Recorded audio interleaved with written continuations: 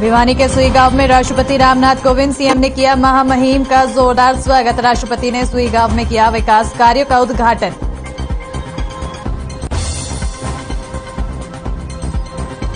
भिवानी के सुई गाँव में सीएम का संबोधन कहा किसी भी गाँव में राष्ट्रपति का आना विकास को देता है गति। सीएम ने मुक्केबाजी और एथलेटिक्स अकादमी बनाने की, घोषणा। गुरुग्राम में होगी जिला कष्ट निवारण समिति की बैठक। सीएम मनोहर लाल करेंगे बैठक की अध्यक्षता। बैठक में रखी जाएँगी कुल उन्नीस शिकायतें।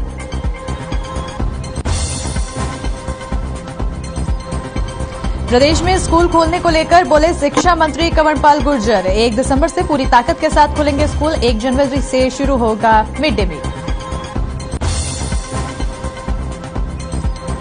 फरीदाबाद के सेक्टर छह में भूपेंद्र स्टील में फटा एलपीजी सिलेंडर। हादसे में एक मजदूर की मौत, चार घायल, कंपनी पर लापरवाही का लगा आरोप।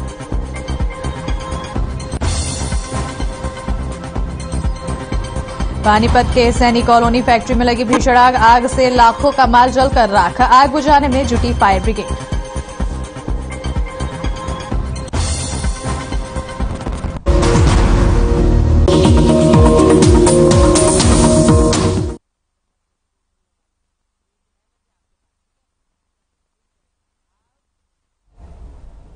नमस्कार, बहुत स्वागत है आप सभी का हर खबर हरियाणा में, मैं आपके साथ अस्मिता दुबे। चलिए खबरों की शुरुआत करते हैं, जहाँ कंवरपाल गुर्जर ने बड़ा बयान दिया है और उन्होंने एक दिसंबर से स्कूल खुलने की बात कही है। और इसी के चलते हमारे हर खबर हरियाणा के संवाददाता ने कंवरपाल गुर्जर से बात की है। शिक्षा मंत्री कंवरपाल गुर्जर से क्या बातचीत हुई है हमारे संवाददाता की, आइए आपको सुनाते हैं। एक दिसंबर से प्रदेश के अंदर सुचारू रूप से स्कूल खुलने जा रहे हैं तो दूसरी ओर प्रदूषण को लेकर लगातार कोहराम बना हुआ है। इसी विषय पर चर्चा करने के लिए हमारे साथ मौजूद हैं सूबे के शिक्षा मंत्री कंवरपाल गुज्जर। सबसे पहले तो बहुत बहुत स्वागत है सर आपका हर खबर हरियाणा में। धन्यवाद। सर ये बताएँ कि जिस तरीके से स्कूल खोलने का जो निर्णय लिया निर्णय लिया गया है सरकार द्वारा एक दिसंबर से क्या लगता है कि उसका प्रभाव जो है बाकी जिलों पर नहीं पड़ेगा? नहीं नहीं ऐसा कोई प्रभाव नहीं एनसीआर में जो ज़िले हैं बिल्कुल जो दिल्ली से सटते हुए ज़िले हैं चाहे उसमें फरीदाबाद है गुड़गांव है जज्जर है रोहतक है तो निश्चित तौर से वहाँ पॉल्यूशन का असर है। और उसको ही देखते हैं इन चार जिलों में हमने निर्णय लिया कि स्कूलों को बंद करें। बाकी पूरे हरियाणा में उसका कोई असर इस प्रकार से नहीं है। और वैसे भी हमने स्कूल खोल ही रखे थे पहले से भी। हमने देश में शायद सबसे पहले स्कूल हम नहीं खुले हैं।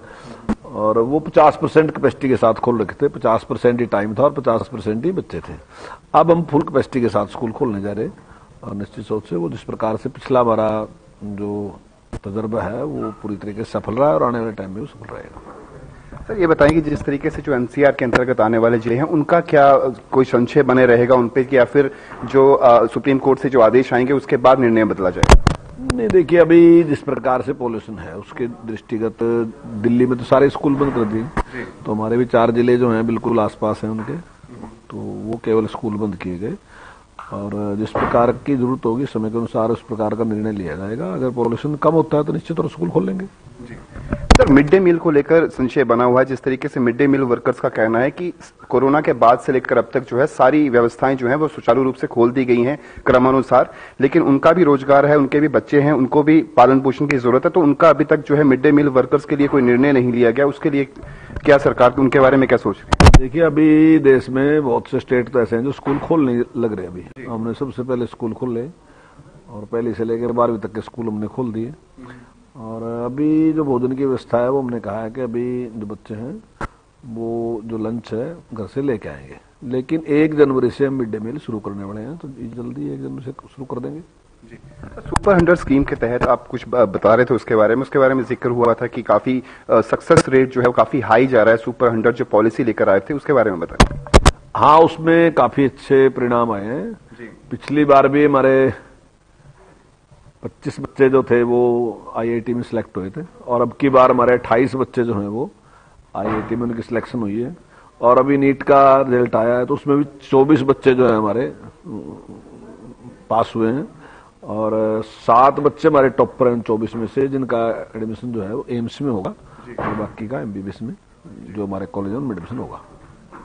नेता प्रतिपक्ष भूपेंद्र सिंह हुड्डा ने आरोप लगाए हैं कि जिस तरीके से सरकार जो पॉलिसीज़ लेकर आ रही है, उसमें यूनिवर्सिटीज की ऑटोनॉमी को खत्म करने का प्रयास किया जा रहा है। सारी पावर जो है, वो सरकार अपने हाथ में लेने के प्रयास कर रही है। उसके बारे में क्या कहेंगे? नहीं, इस प्रकार का कोई प्रयास नहीं है और, जो हरियाणा एजुकेशन काउंसिल है उसने भी अभी बैठक बीसी के साथ की है। और हम एचपीएससी जो है, निश्चित तौर से रिटर्न टेस्ट उनका लेगी, लेकिन उसके बाद एक कमेटी गठित कर दी गई, और उसके चेयरमैन जो है, जो यूनिवर्सिटी का वीसी है, वही इसका चेयरमैन रहेगा। दो मेंबर एचपीएससी के होंगे, और एक मेंबर सरकार की तरफ़ से होगा, और एक मेंबर यूनिवर्सिटी की तरफ़ से होगा तो वो इनका इंटरव्यू लेंगे, उनकी तरफ़ से सिलेक्शन होगी।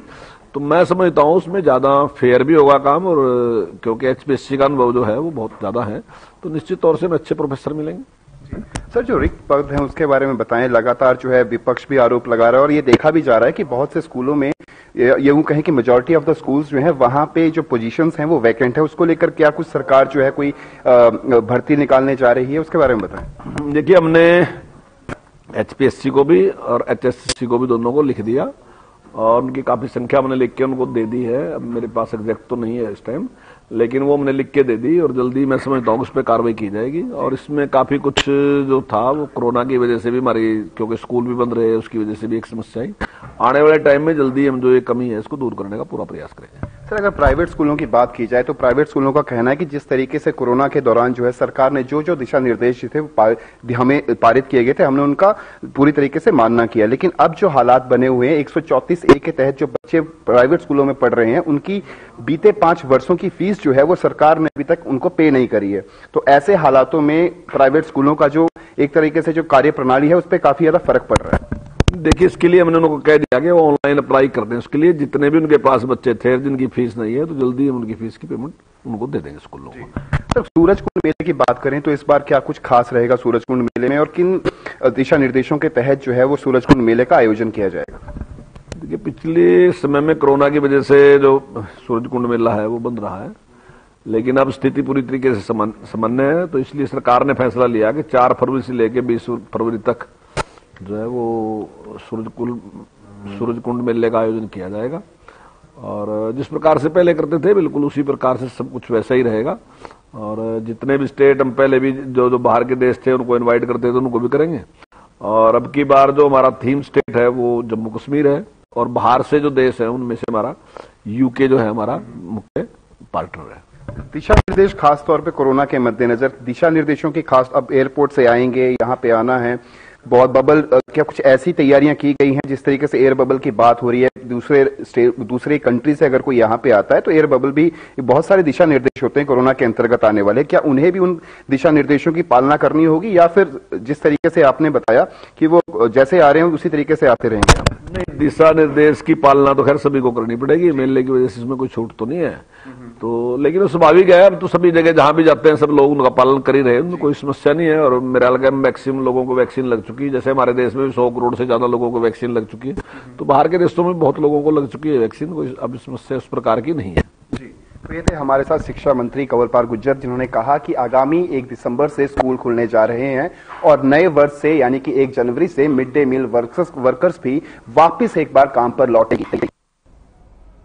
और बढ़ते आगे, जहाँ राज्य के बाहर के कॉलेजों में पढ़कर फार्मेसी की डिग्री लाने वाले छात्रों और हरियाणा केमिस्ट एसोसिएशन के पदाधिकारियों ने हरियाणा फार्मेसी काउंसिल की कार्यप्रणाली पर सवाल उठाए हैं और उनका कहना है कि काउंसिल की ओर से पिछले दो साल से राज्य के बाहर से पढ़कर आने वाले करीब पाँच छात्रों की रजिस्ट्रेशन नहीं किए गए हैं। इसके साथ ही रिन्यूअल और अन्य काउंसिल के कामों में लगातार ढिलाई भी बढ़ती जा रही है। जो है इस मामले में फार्मेसी काउंसिल के पदाधिकारियों से भी कई बार मिले। यूनिवर्सिटी फर्जी है तो सरकार उसको बंद क्यों नहीं कराती? यूनिवर्सिटी आज भी चल नाम मेरा नाम शुभम अग्रवाल है। शुभम किस तरह से आ, मेडिकल मेरी फ़ाइल भी जमा नहीं करी गई उस टाइम पे। 2000 2001 जो है इस मामले में फार्मे नाम मेरा नाम शुभम अग्रवाल है। शुभम तरह से मेडिकल काउंसिल ऑफ़ हरियाणा से आप परेशान है? क्या परेशानी आ रही है जी, मैंने बी फार्मेसी करी हुई है हिमाचल प्रदेश से। अशूल यूनिवर्सिटी यूनिवर्सिटी का नाम है। और मैं 2020 में पास आउट हुआ था। मैंने 28 जुलाई 2020 में फार्मेसी काउंसिल में अप्लाई किया था अपने फार्मासिस्ट रजिस्ट्रेशन के लिए। जबकि मेरी फ़ाइल भी जमा नहीं करी गई उस टाइम पे।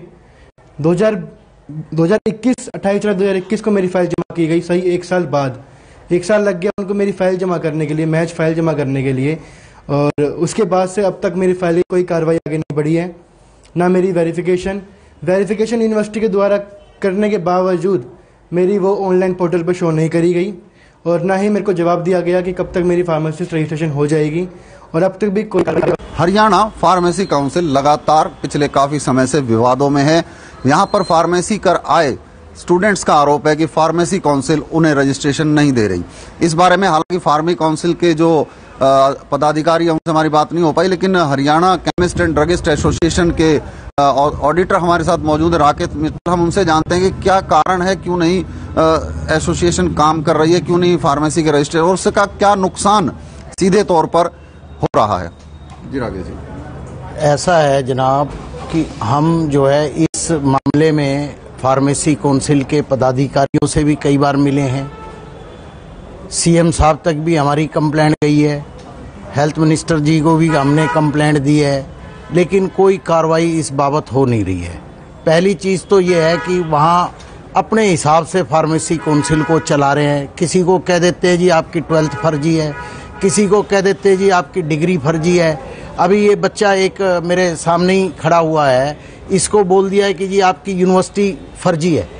जब यूनिवर्सिटी फर्जी है तो सरकार उसको बंद क्यों नहीं कराती? यूनिवर्सिटी आज भी चल रही है।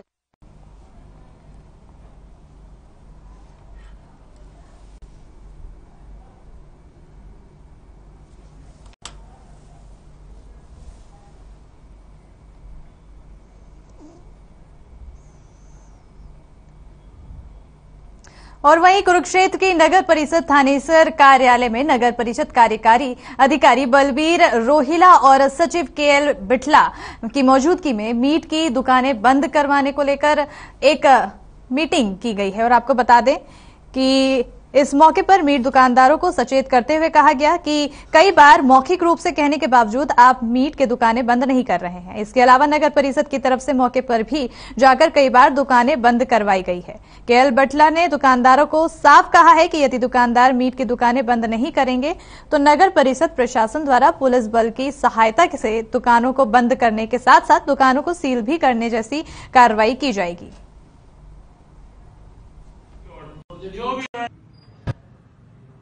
धर्मनगरी कुरुक्षेत्र तीर्थों की संगम स्थली कुरुक्षेत्र। ऐसे में यहाँ पर अ, अ, बिल्कुल ड्राई एरिया है यहाँ पर मास्क के ऊपर बिक्री पर प्रतिबंध है। परंतु पिछले कुछ समय से यहाँ पर मास्क की बिक्री की सूचनाएँ आ रही थी तो ऐसे में प्रशासनिक तौर पर इस पर कड़े प्रबंध किए गए हैं।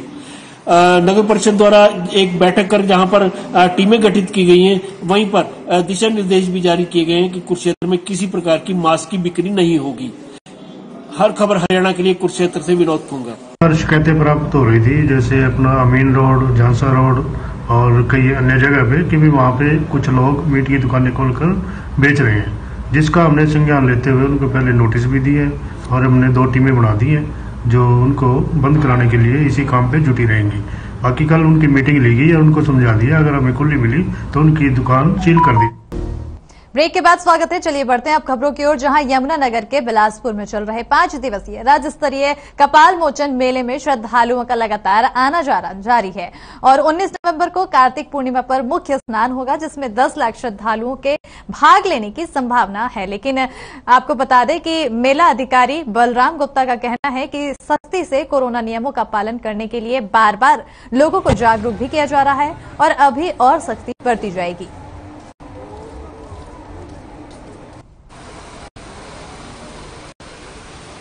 जो लोग भी यहाँ पर कोरोना गाइडलाइंस का पालन नहीं कर रहे हैं, वो अपने आप से धोखा कर रहे हैं। क्योंकि कोरोना एक ऐसा वायरस है जिसने बहुत ज़्यादा पूरे वर्ल्ड में डैमेज किया है और बहुत ज़्यादा डैमेज किया है। तो अगर कुछ गाइडलाइंस पालन करके हम सुरक्षित रह सकते हैं, हमारा समाज सुरक्षित रह सकता है, हमारा देश सुरक्षित रह सकता है तो हमें उसका पालन ज़रूर करना चाहिए। तो आदेश है, कि सभी नाकों पे वादा जो चेकिंग हो रही है वादा बराबर। और लोगों को भी हम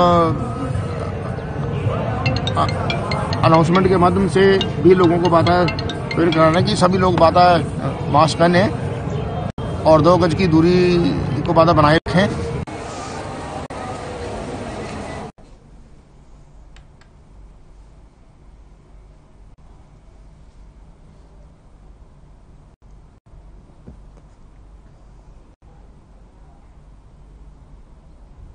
और अब खबर फरीदाबाद से है, जहाँ रियान पब्लिक स्कूल के अध्यापकों को लंबे वक्त से सैलरी नहीं मिल रही है। अध्यापकों का आरोप है कि उन्हें रोज कहा जाता है कि सैलरी के मुद्दे पर चर्चा होगी, लेकिन ऐसा होता नहीं है।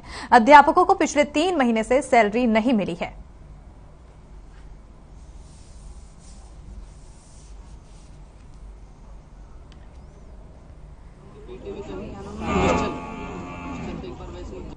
पिछले नौ दिनों से पेन डाउन स्ट्राइक पर थे।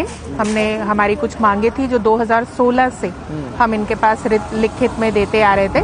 पर आ, मांगे ये हैं कि हमारा सेवेंथ पे कमीशन हमारी अपग्रेडेशन नहीं हुई 2016 से। हमें डीए नहीं दिए जा रहे। हमारे दो साल से इंक्रीमेंट्स रुके हुए हैं। अब फिर इलीगली हमारी ईएल को छेड़ा जा रहा था। तो फिर हम बहुत देर से लिखित में इनको देते आ रहे थे पर वहाँ से कोई जवाब नहीं आया। बता दें कि फरीदाबाद से खबर है, जहाँ पर रियान पब्लिक स्कूल के अध्यापक परेशान हैं क्योंकि उन्हें लंबे समय से उनका वेतन नहीं मिल रहा है। अब ऐसे में सैलरी ना मिलने को लेकर अध्यापकों की परेशानी साफ़ तौर पर नज़र आ रही है, जिसके बाद आपको बता दें कि इस मुद्दे पर उनका कहना है कि सैलरी के मुद्दे पर चर्चा होने की बात हर बार कही जाती है, हर रोज कही जाती है, लेकिन ऐसा कुछ होता नहीं है। ऐसे में तीन महीने से उन्हें सैलरी नहीं मिली है। अब इस तीन महीने से सैलरी ना मिलने के चलते अध्यापक जिस कदर परेशान है, उसके बाद उनका गुस्सा साफ़ तौर पर फूटता हुआ दिखाई दे रहा है। तस्वीरों में देख सकते हैं आप कि किस तरह से अध्यापक अब परेशान होकर बाहर आ गए हैं। शिक्षकों को वेतन जहाँ नहीं मिल रहा है, ऐसे में बढ़ती महँगाई के बीच जब तीन महीने से अध्यापकों को इस तरह से वेतन नहीं मिलेगा तो उनके लिए परेशानी बढ़ती चली जाएगी। उनके लिए ये परेशानी का सबब बना हुआ है।